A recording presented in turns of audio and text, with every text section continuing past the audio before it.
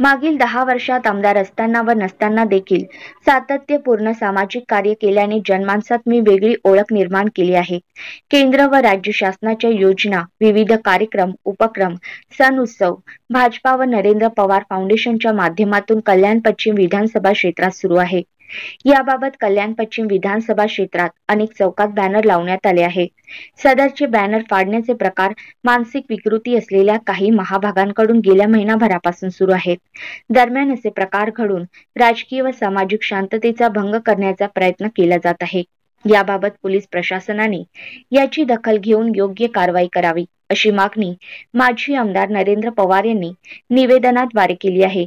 भाजपाचे कल्याण पश्चिम विधानसभा प्रमुख तथा माजी आमदार नरेंद्र पवार माध्यमातून दरवर्षी राबविल्या जाणारा दहावी व बारावी गुणवंत विद्यार्थ्यांचा सन्मान सोहळा रविवार दिनांक अकरा ऑगस्ट दोन हजार चोवीस रोजी मोने टिटवाळा व कल्याण पश्चिम विभागात आयोजित करण्यात आला होता.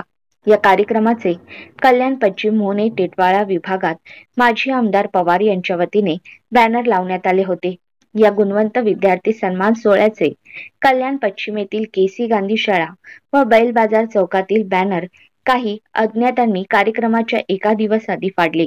या घटनेबाबत माजी आमदार पवार यांच्या वतीने कार्यकर्त्यांनी तत्काळ कल्याण बाजारपेठ पोलीस ठाण्यात तक्रार दाखल केली आहे.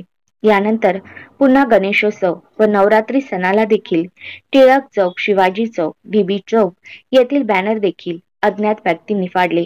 या वारंवार घडणाऱ्या घटनांमुळे माजी आमदार नरेंद्र पवार यांनी राज्याचे मुख्यमंत्री एकनाथ शिंदे राज्याचे गृहमंत्री देवेंद्र फडणवीस ठाण्याचे पोलीस आयुक्त आशुतोष डुमरे यांना पत्र व्यवहार करून या पद्धतीने राजकीय व सामाजिक शांततेचा भंग करणाऱ्यांवर कठोर कारवाईची मागणी केली आहे.